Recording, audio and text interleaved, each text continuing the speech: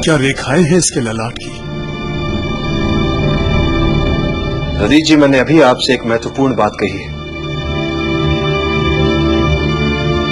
धनानंद से मुझे भी कई पुराने ऋण चुकाने हैं।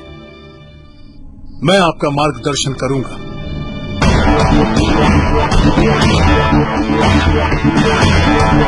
मैंने इस बच्चे की आँखें और ललाट की रेखाएँ पढ़ी हैं।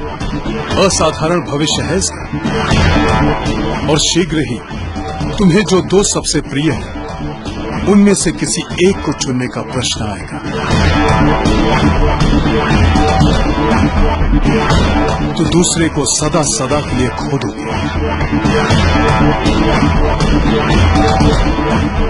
जिसके लिए तुम अपने आप को कभी क्षमा नहीं कर पाओगे।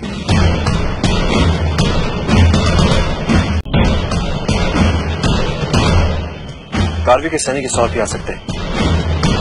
संकट में समूह पर सबसे पहले संदेह किया जाता है।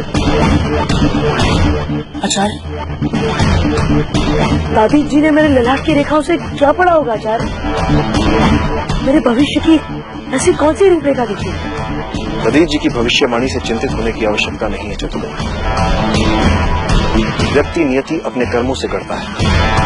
किंतु मेरे लिए क्या विकल्प होगा आचार्य? क्या दादी जी ने भविष्य को लेकर मेरे लिए एक से अधिक विकल्प पड़े होंगे। और यदि मेरे सामने दो विकल्प आ गए तो मैं चुनूँगा किसे?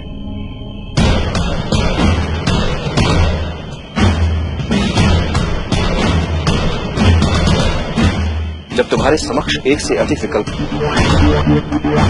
और निर्णय लेना कठिन हो रहा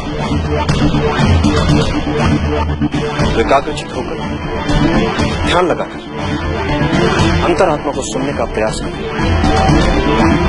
अंतरात्मा के संकेत नियति को स्वरूप देते हैं। किंतु आचार्य वो